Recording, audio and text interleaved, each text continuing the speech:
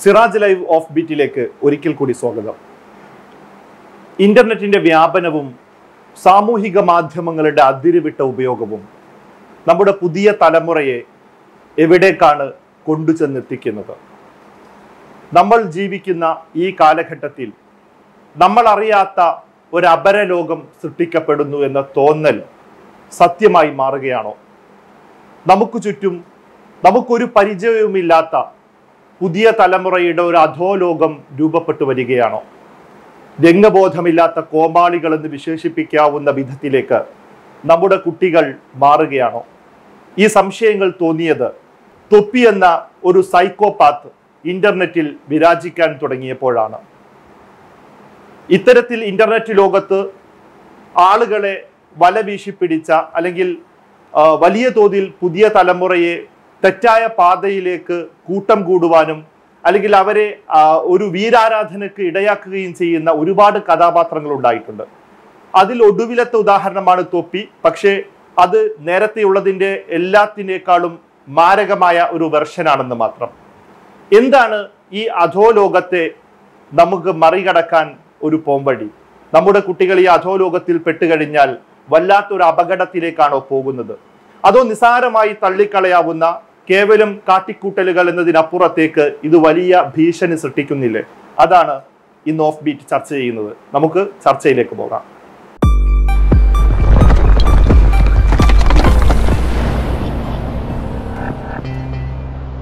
പുസ്തകമാഷേ ഈ തൊപ്പി എന്ന കഥാപാത്രത്തെ കഴിഞ്ഞ ദിവസം ആ, വളാഞ്ചേരിയിൽ ഒരു കടയുടെ ഉദ്ഘാടനത്തിന് തൊപ്പി വരുന്നപ്പോൾ അവിടെ അവന്റെ ആരാധകരെന്ന് പറയുന്ന കുട്ടിക്കൂട്ടങ്ങൾ ഈ വളാഞ്ചേരി നഗരത്തെ സ്തംഭിപ്പിക്കുന്ന ദൃശ്യങ്ങൾ കണ്ടപ്പോഴാണ് ഞാൻ യഥാർത്ഥത്തിൽ ഈ തൊപ്പിയുടെ ലോകത്തേക്ക് എത്തുന്നത്. ഞാൻ പലരോടും ഈ ഇങ്ങനെ സംസാരിച്ചപ്പോൾ അവരൊക്കെയും ഈ കുട്ടിപ്പട്ടാളം അവിടെ വലിയ ചലനം സൃഷ്ടിച്ചപ്പോഴാണ് നമ്മുടെ അല്ലെങ്കിൽ ഈ ഒരു അധോലോകത്തിന് പുറത്തേക്ക് ഇത് വരുന്നത്.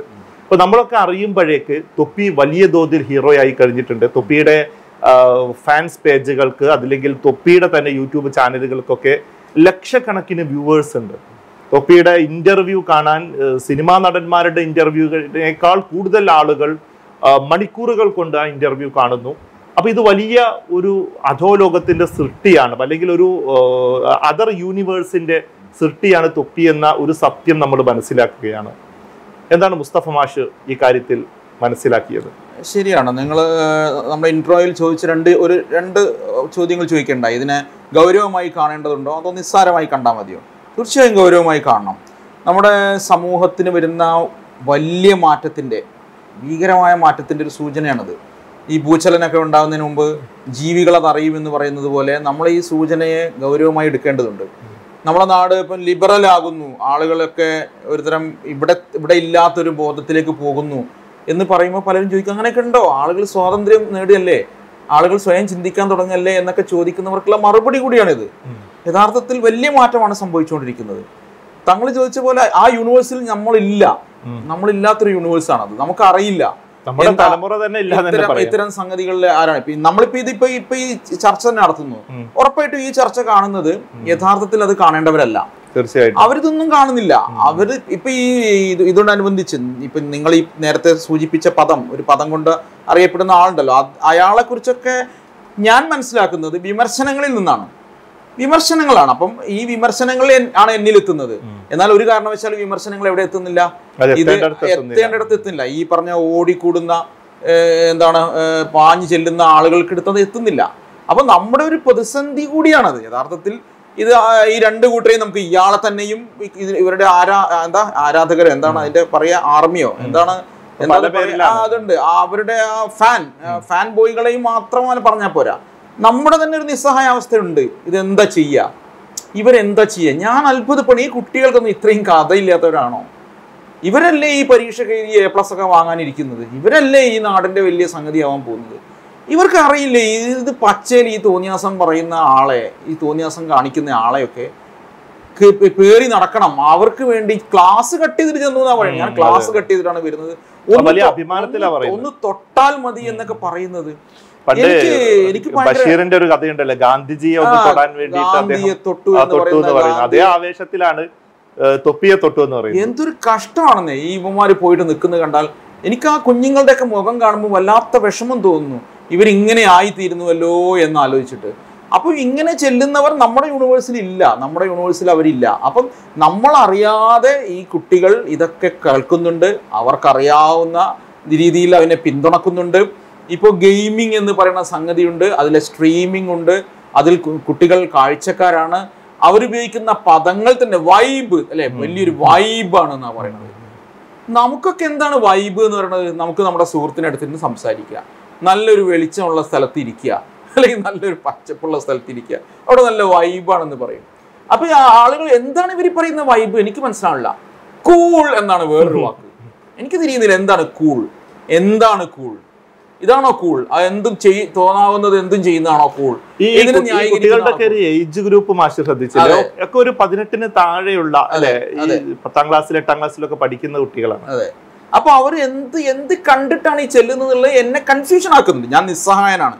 സത്യമായിട്ടും. ഇത് ഇത് ഇതിനെ വിശകലനം ചെയ്യാൻ. പലരും പല രീതിയിൽ വിശകലനം ചെയ്യുന്നുണ്ടെങ്കിലും സത്യത്തിൽ വിശകലനം തന്നെ അർഹിക്കുന്നില്ല എന്നല്ല വിശകലനം ചെയ്യേണ്ടതാണ്. തീർച്ചയായിട്ടും വിശകലനം ചെയ്യേണ്ടതാണ്.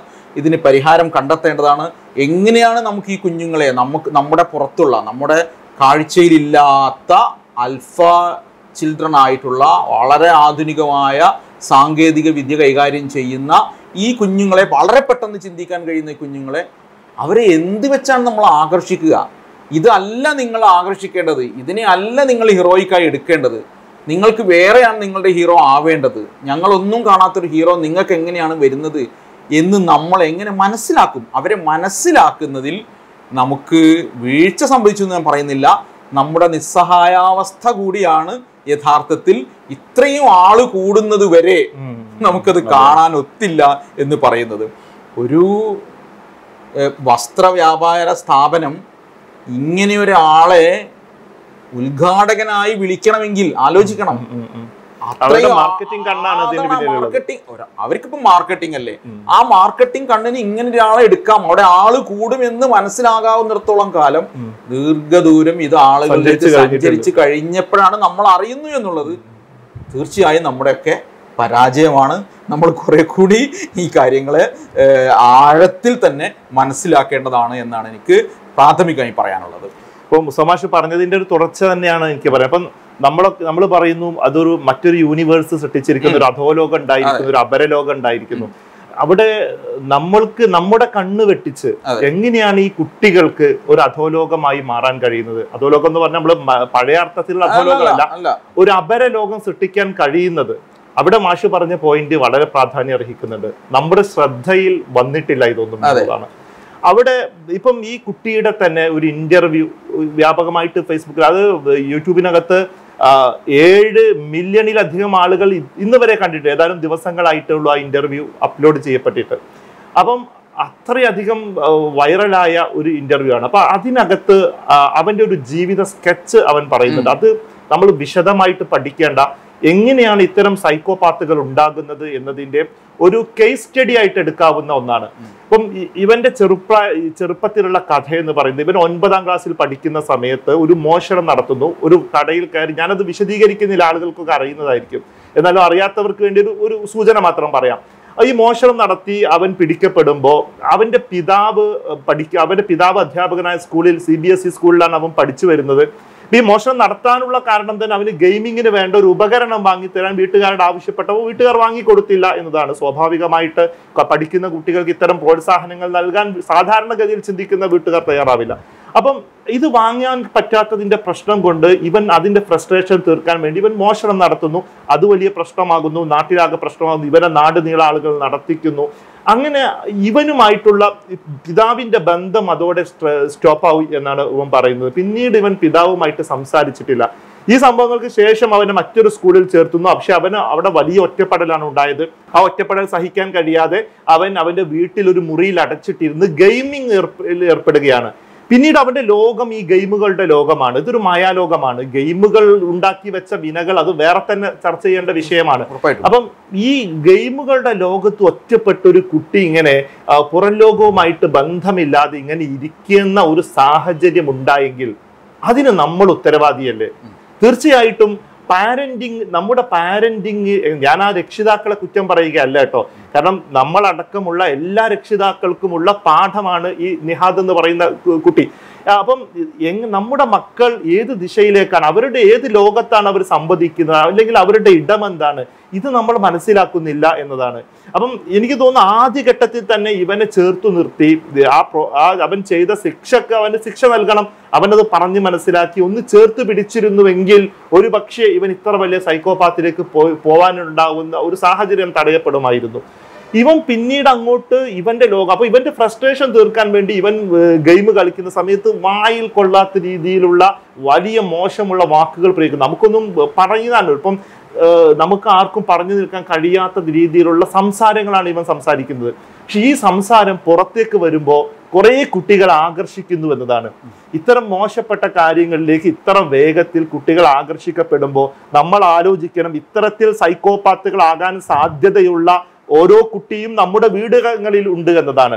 അപ്പൊ ഇത്തരം സാഹചര്യങ്ങളിലേക്ക് ആകർഷിക്കപ്പെടുന്നുവെങ്കിൽ നാളെ അല്ലെങ്കിൽ മറ്റന്നാൾ ഇവർക്ക് നമ്മൾ ശക്തമായ ഗൈഡൻസ് കൊടുത്തില്ലെങ്കിൽ അവരെ നമ്മുടെ യൂണിവേഴ്സിലേക്ക് കൊണ്ടുവന്നില്ലെങ്കിലും നമ്മുടെ യൂണിവേഴ്സിന്റെ നിയന്ത്രണത്തിൽ അവരൊരു പരിധി കഴിയുന്നവരെ കൊണ്ടുപോകാൻ നമുക്ക് പറ്റിയില്ലെങ്കിൽ നാളെ ഇത്തരം സംഭവങ്ങൾ ധാരാളം ഉണ്ടാകും അതെ. അപ്പൊ അതോടൊപ്പം എനിക്ക് പറയാനുള്ള ഒരു പ്രധാനപ്പെട്ട പോയിന്റ് എന്തുകൊണ്ടാണ് ഇത്തരത്തിൽ ആളുകൾക്കിടയിൽ നമ്മൾ പരസ്പരം പറയാൻ പഠിക്കുന്ന ഒറ്റയ്ക്ക് പോലും പറയാൻ പഠിക്കുന്ന കാര്യങ്ങൾ ഇത്ര പച്ചക്ക് പറയുന്നത് എന്നതിന്റെ ഒരു കാരണം ഞാൻ പറയാം ലജ്ജ എന്ന് പറയുന്ന മനുഷ്യന്റെ ഒരു വികാരമുണ്ട്.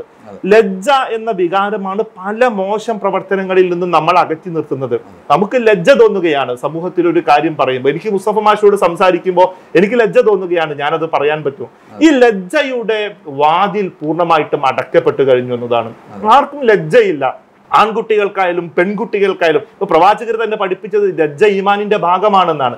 ഇപ്പൊ ഈ ലജ്ജയില്ലാത്ത ഒരു സമൂഹമായിട്ട് നമ്മുടെ സമൂഹം മാറിക്കഴിഞ്ഞു. അതിനൊരുപാട് കാരണങ്ങളുണ്ട്. അതിലേക്കൊന്നും വിശദമായിട്ട് പോകാൻ നമുക്കിപ്പോ സമയമില്ല. അപ്പം എന്താണ് നമുക്ക് ഇതിനകത്തുള്ള പരിഹാരം എന്നത്? ഒരു വളരെ കേസ് സ്റ്റഡി നടത്തി നമ്മൾ മനസ്സിലാക്കി അവരെ നമ്മുടെ ഒരു ഒരു നേർ ഒരു നേർവഴിക്ക് അവരൊരു ദിശ കാണിച്ചു കൊടുക്കാനേ നമുക്ക് കഴിയും. അതിനെങ്കിലും സാധിക്കുന്ന തരത്തിലേക്ക് നമ്മുടെ ചിന്തകൾ നമ്മുടെ പഠനങ്ങൾ മുന്നോട്ട് പോവേണ്ടതിന്റെ അനിവാര്യതയാണ് എനിക്ക് ചൂണ്ടിക്കാട്ടാനുള്ളത്. ഇതിൽ ഇപ്പൊ നിങ്ങൾ പറഞ്ഞ ഈ കഥ ആയ അദ്ദേഹം ഈ കക്ഷി പറയുന്ന കഥയാണ്. തീർച്ചയായിട്ടും. അതിൽ രക്ഷിതാക്കളുടെ വെർഷൻ നമ്മൾ കേൾക്കണം.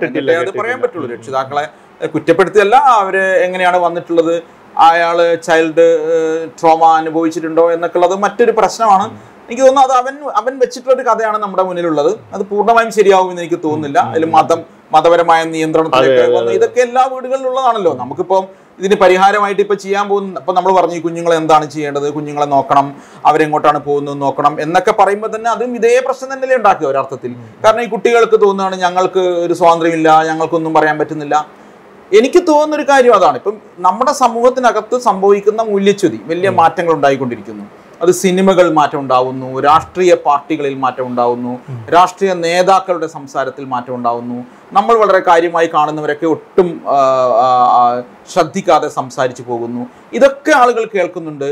പിന്നെ അതുമല്ല ഇങ്ങനെയൊക്കെ പറയണം. ഇതൊക്കെ ഇവിടെ വേണ്ടതാണ് എന്നൊരു ഇത്. ഇപ്പൊ സിനിമയൊക്കെ ഇറങ്ങി. ഫുള്ള് തെറിയുള്ള സിനിമയൊക്കെ ഇറങ്ങിയിട്ടുണ്ട്. അത് നമ്മളങ്ങനെ കാണുന്നില്ല എന്നുള്ളൂ അങ്ങനത്തെ സിനിമയൊക്കെ ഇറങ്ങിയിട്ടുണ്ട് ഗംഭീരമായി. അപ്പൊ ഇതൊക്കെ ഇങ്ങനെ പറയലാണ് സ്വാതന്ത്ര്യ പ്രഖ്യാപനം. ഇതൊക്കെ പറയൽ വലിയ മികവുള്ള കാര്യമാണ് എന്ന് തോന്നുകയാണ്. എന്ന് തോന്നുകയാണ്. അപ്പൊ ഇത് പക്ഷെ ഒരു ദീർഘകാലത്തേക്ക് നിൽക്കുന്ന ഒരു ഒരു ഒരു ഒരു എനിക്ക് തോന്നുന്നില്ല കേട്ടോ.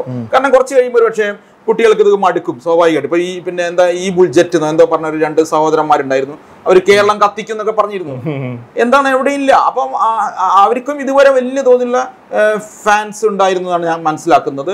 അവർ പിന്നെ പലതരത്തിൽ പിന്നീട് വരുന്നൊക്കെ ഉണ്ട്. അപ്പം ഇതിന്റെ ഒരു പ്രശ്നം എനിക്ക് തോന്നുന്നത് ഈ ഈ കുട്ടികൾക്ക് എന്താണ് അവർ മോട്ടിവേറ്റഡ് ആവുകയാണ് സത്യത്തിൽ മോട്ടിവേറ്റഡ് മോട്ടിവേറ്റഡ് ആവുക തന്നെയാണ് ചെയ്യുന്നത്. പക്ഷെ അത് നെഗറ്റീവ് മോട്ടിവേഷൻ ഉണ്ട് പോസിറ്റീവ് മോട്ടിവേഷൻ ഉണ്ട്. ഇപ്പോൾ ഒരാൾ തങ്ങളിപ്പോൾ ഒരു തെറി പറഞ്ഞു കഴിഞ്ഞാൽ ഒരു തെറി പറഞ്ഞു ഞാൻ അപ്പ ചിരിച്ചു. പക്ഷെ ഞാനത് ആവർത്തിക്കരുത് എന്നതാണ് എന്റെ അതിനാണ് ഞാൻ എടുക്കുന്ന പോസിറ്റീവ് പോസിറ്റീവ് മോട്ടിവേഷൻ അതാണ്. ഒരാൾ വീ വെള്ളം അടിച്ചൊരു സ്ഥലത്ത് എന്തൊക്കെയോ തോന്നിയാസങ്ങൾ കാണിക്കുന്നു. ആ ഭയങ്കര നടക്കുന്നു ചിരിക്കുന്നു അയാൾ തുണി അഴിച്ചിട്ട് കാണിക്കുന്നു അല്ലെങ്കിൽ വേറെ എന്തെങ്കിലും കാണിക്കുന്നു ഒരു അങ്ങാടിയിൽ ഓക്കെ ഞാനത് കാണുന്നു. അപ്പൊ ഞാൻ ഒരു പക്ഷേ ചിരിച്ചെന്ന് വരും. ഞാനും ചിരിച്ചെന്ന് വരും. ഓക്കെ ചിരിച്ചു കഴിഞ്ഞാൽ എനിക്ക് എന്താണ് തോന്നുന്നത്? അയ്യേ അത് അത് ഞാൻ ആവർത്തിക്കില്ല ഒരിക്കലും. വേണ്ട നമ്മുടെ ഒരു കല്യാണ പെരയിൽ ഒരു കുട്ടി എന്തൊക്കെയോ കാണിച്ചിട്ട് പോകുന്നു. ആളുകളെ ഒക്കെ പിന്നെ വലിയ ആളുകളൊക്കെ പേര് വിളിക്കുന്നു. അല്ലെങ്കിൽ ബാപ്പനെ തന്തേന്ന് വിളിക്കുന്നു. എന്തെങ്കിലുമൊക്കെ വിളിച്ചു പറഞ്ഞുകൊണ്ടിരിക്കുന്നു നമ്മൾ അപ്പൊ ചിരിച്ചെന്ന് വരും. പക്ഷെ നമ്മൾ ആരും അവനെ എന്താക്കില്ല. അതേ സാധനം ഒരു സ്റ്റേജിൽ കയറി നടത്താൻ വേണ്ടി പറയാറില്ല. പറയാറില്ല. എന്നാൽ ഈ കുട്ടികൾക്ക് അങ്ങനെയാണ് തോന്നുന്നത്. അവർക്ക് അവരുടെ വീട്ടിൽ പറയാൻ പറ്റാത്ത തെറി. അവർക്ക് അവരുടെ വീട്ടിൽ കാണാൻ പറ്റാത്ത തെറി. അത് അവരെവിടെ കാണുകയാണ്? ഈ പറഞ്ഞ ആളിൽ നിന്ന് കാണുകയാണ്. അത് അവർക്ക് ഭയങ്കരമായ വൈബ് ആയി മാറുകയാണ്. അയാൾക്ക് കൂളായിട്ട് പറയാൻ പറ്റുന്നു എന്ന് തോന്നുകയാണ്. അത് വൈറൽ ആവുകയാണ്. അപ്പം ഇവരുപയോഗിക്കുന്ന പദങ്ങൾ തന്നെ സീൻ എന്ന പദം അവർ ഉപയോഗിക്കും. വൈബ് എന്നുള്ള പദം നേരത്തെ ഞാൻ പറഞ്ഞാൽ ഉപയോഗിക്കും. കൂൾ എന്ന പദം ഉപയോഗിക്കും. അപ്പം നമ്മുടെ ഒരു പദാവലി തന്നെ അല്ലാത്ത മറ്റൊന്ന് ഈ കുഞ്ഞുങ്ങൾ ഉണ്ടാക്കുകയാണ്. അപ്പൊ സംഭവം ഇതാണ്. അവരിതിനെ ഒരു നെഗറ്റീവ് മോട്ടിവേറ്റഡ് ആവുകയാണ്. ഇത് ഇതിങ്ങനെ പറയരുത് എന്നൊരു ചിന്ത അല്ല അവർക്കുണ്ടാവുന്നത്.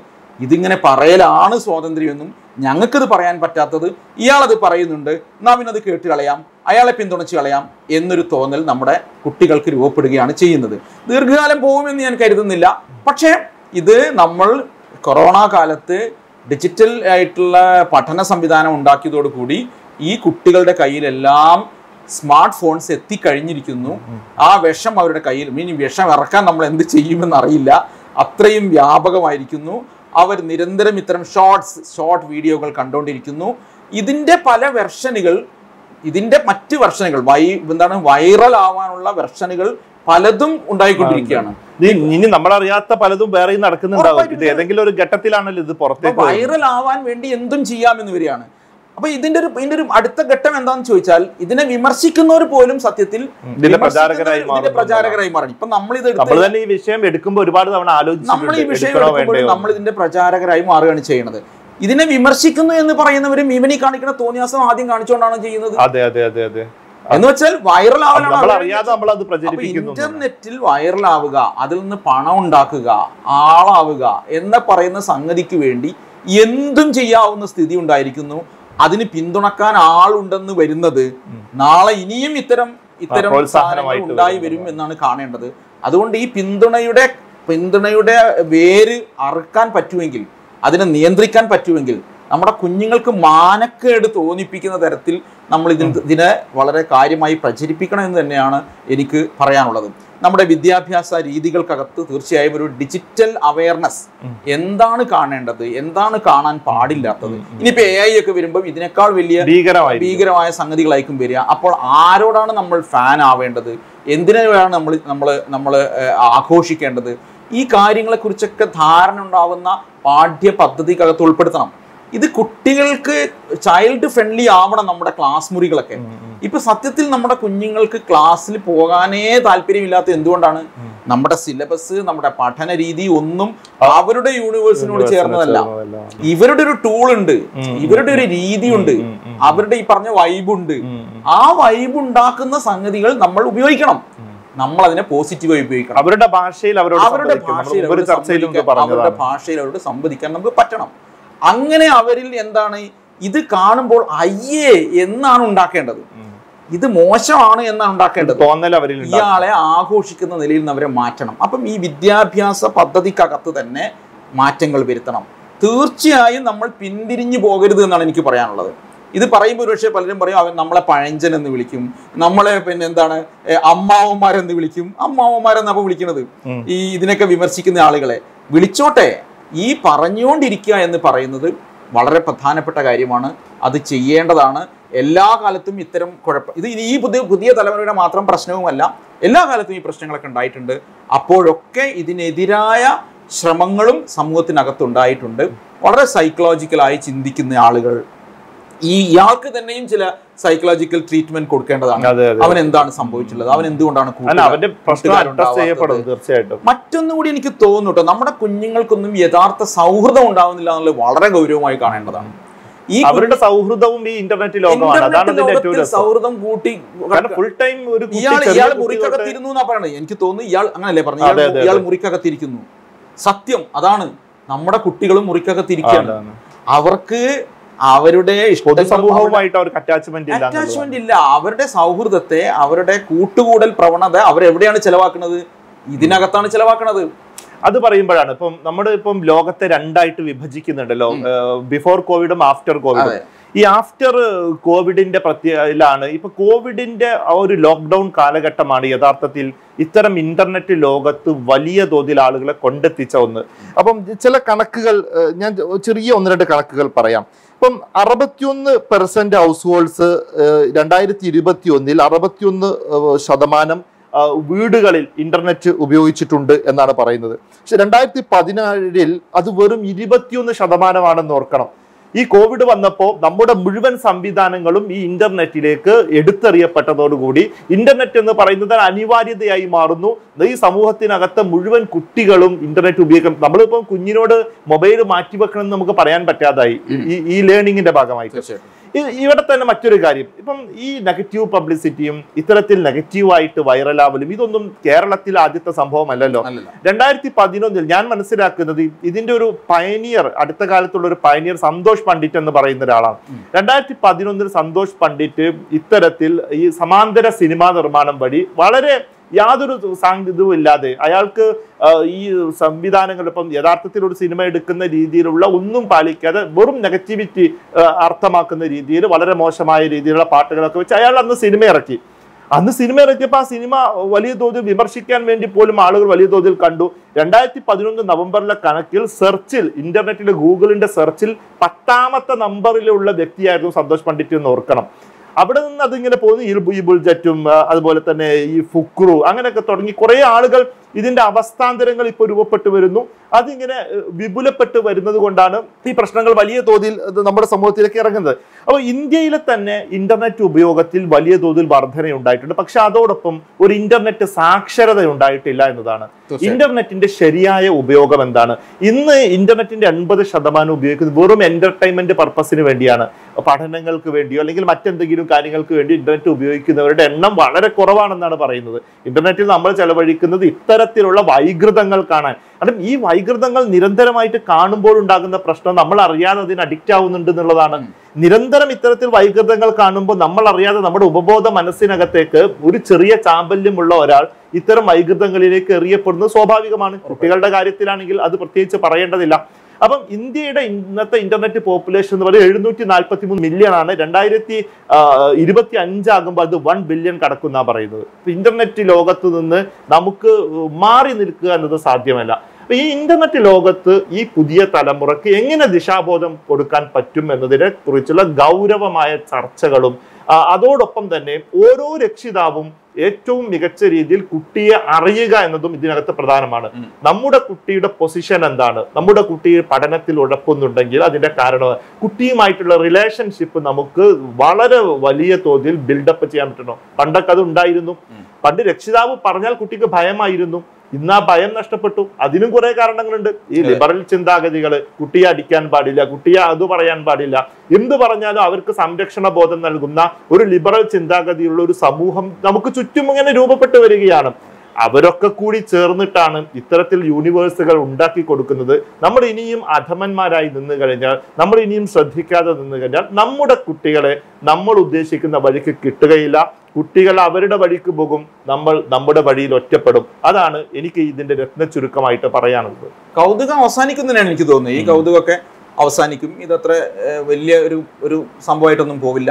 പക്ഷേ ഇതൊരു സൂചനയാണ് നമ്മുടെ കുട്ടികൾ ഇത്തരം ആളുകളെ ചുമലിലേറ്റി നടക്കുന്നവരായി മാറുന്നത് മഹാ കഷ്ടമാണ്. അത് അവർ തന്നെ മനസ്സിലാക്കട്ടെ.